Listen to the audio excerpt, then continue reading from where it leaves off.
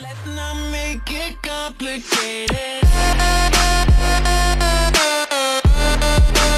let's go ahead and talk about blog post number one. Welcome, this is blog post number one. We're going to get into some more detail about how I would suggest is the best way to attack this assignment. So, the first blog post is uh, structured like this, right? All your blog posts are actually going to be structured like this. I would suggest that you do fi- a five paragraph, kind of a normal essay uh, structure for each blog. So it's a little more involved. It's not necessarily like a, a small, like a tweet or a Facebook post or something like this. This is more of a blog. It's going to be a little longer, a little more involved. And that's the intention. So paragraph one is your introduction of your big decision.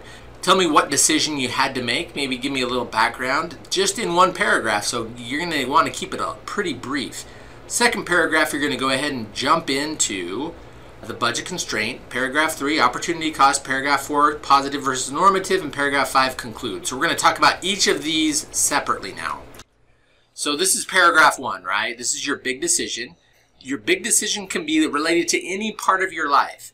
It can be a job that you had to quit or a job that you took as a decision. Your big decision, what we want to do is we want to keep it pretty simple. So really you're deciding between two options. Maybe in your life you you viewed it as three, four, five, you know, 20 options all at one time. Narrow it down to just where you're deciding between two. This is a decision you've already made, hopefully. So if you're if it's a job, it's a job that you decided to take or to quit. And what was the other option in that case? Education. You decided to go to TVCC, obviously.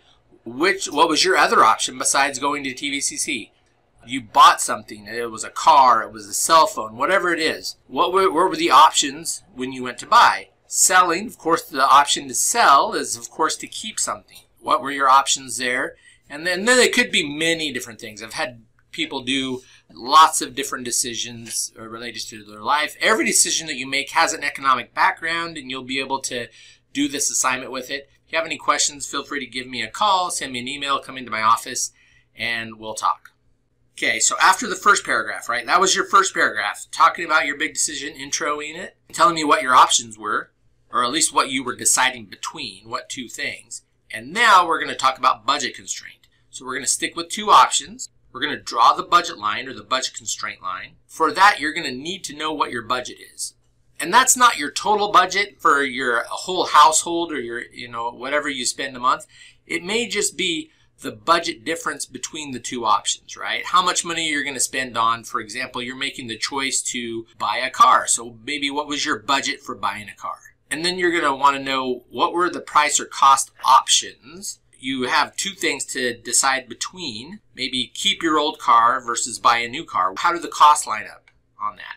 And then the end result is you're going to have a set of possible choices.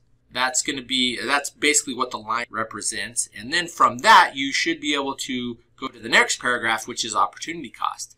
Opportunity cost is when you choose one, what are you giving up? What is your next best option? We're still going to just stick with two options here. Keep it simple. Then our fourth paragraph is normative versus positive. And this is just the kind of statements you may give. A lot of people tend to give these when they're doing their blog post. For example, normative type statements is it's the right thing to do, or it's good, or it's bad. You know, you're, you're making a judgment choice based on subjective material. I think this was the best thing because I was raised this way or that way or whatever, right? Or maybe you got some advice from somebody. My uncle said to do this and what, whatever. Typically those things are normative type points. Positive. Eh, are they're going to be factually based? So it costs less. The opportunity cost is what? The price is what? The quantity is what? Those are all factually based things. You're going to be able to give some data to back it up. So talk in this paragraph, talk about what are some of the normative and positive issues that you dealt with with your decision. Maybe some advice you got, maybe some of your own thoughts that you had about your big decision. And then lastly, of course, you're going to conclude. You're going to wrap everything up and say, this is the decision. I'm going to build the rest of my term project on this term. So this is kind of a serial problem is the way kind of to think about it. So this is the first step or the first blog of four. So you're going to do this one. The second one we're going to do, it's based on supply and demand. Third one is going to be based on something called utility and elasticity. And then the last one you're going to do is based on market type. And we're going to talk about supply side stuff in that last blog. Hopefully this helps. If you have any questions, feel free to give me a call or send me an email. You can come into my office as well and we can talk face to face. Have a good one.